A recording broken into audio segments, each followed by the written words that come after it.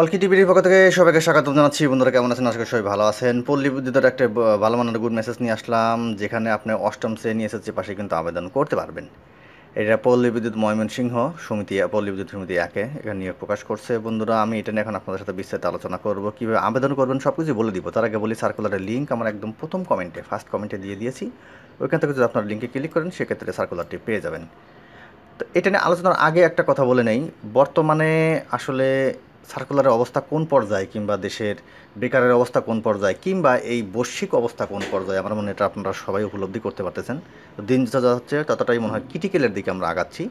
এমত অবস্থায় আমি আপনাদেরকে সাজেস্ট করব, যখন যেটা পান সেটাতে আবেদন করে রেখে দিবেন। বাকিটা আপনার ভাগ্য। একটা ভালো সার্কুলার পাবেন, সেই জন্য একটা মানে একটা ছোটো কিছু ছেড়ে দিলেন, আমার মনে হয় সেটা ঠিক হবে না। যাই হোক, এখন দেখেন এটা নিয়ে কী বলছে তারা? ময়মনসিংহ পল্লী বিদ্যুৎ সমিতি একে। এখানে সতেরো দশ দু হাজার বাইশ এটা পাবলিশ করা হয়েছিল। এখানে ড্রাইভার তারা নিয়োগ করবে। যাকে এখানে বেসিক দেওয়া হবে ষোলো হাজার। ইন টোটাল একচল্লিশ হাজার নয়শো পঞ্চাশ টাকা সে বেতন পাবে। এছাড়াও বাড়ি ভাড়া পাবে, চিকিৎসা ভাতা পাবে, অন্যান্য সুযোগ সুবিধা তো আসলে পল্লী বিদ্যুতের সুযোগ সুবিধাটা কেমন আমার মনে হয় এইটা নিয়ে আলোচনা করার নতুন করে কিছু নাই। এটা আমরা সবাই খুব ভালো জানি, এটা খুবই মাত্রা প্রচুর। আপনি বুঝতে পারছেন যে একটা ড্রাইভারের বেতন পল্লী বিদ্যুতে বিয়াল্লিশ হাজার টাকা দিচ্ছে, এছাড়া বাড়ি ভাড়া বংতং সব সহ হিসাব করলে পঞ্চাশ হাজারের উপরে চলে আসে। এটা আমার মনে হয় অন্য কোনো কোম্পানিতে গিয়ে আপনি এই সুযোগটা কখনোই পাবেন না।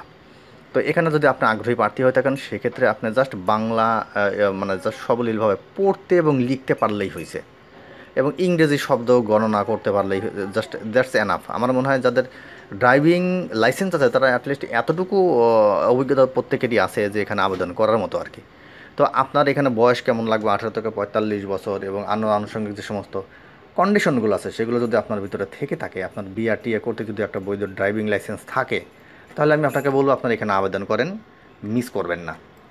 বাকি বিষয়গুলো আবেদন করতে কী কী করতে হবে না হবে, ওদের যে সাইটটা আছে গভর্নমেন্ট সাইট এইটাতে মানে প্রতিনিধিদের যে সাইটটা সেটাতে ঢুকে আপনারা আবেদনটা করবেন। আমি আপনাদেরকে বলি সার্কুলারটা নামে কোনো কম্পিউটারের দোকানে চলে যান, ওইখানে গিয়ে ওদের মারফতে আবেদনটা করেন। সেক্ষেত্রে ভুলভাল হওয়ার সম্ভাবনাটা একদমই থাকবে না। আমার মনে হয় সংক্ষিপ্ত পরিসরে এর থেকে আর ভালো কিছু বললাম নাই। তারপর যদি আপনাদের কোনো প্রকৃতির কোশ্চেন থাকে, এই রিলেটেড আমাকে কমেন্ট করতে পারেন। আমি চেষ্টা করব আপনাদের অ্যান্সার দেওয়ার জন্য।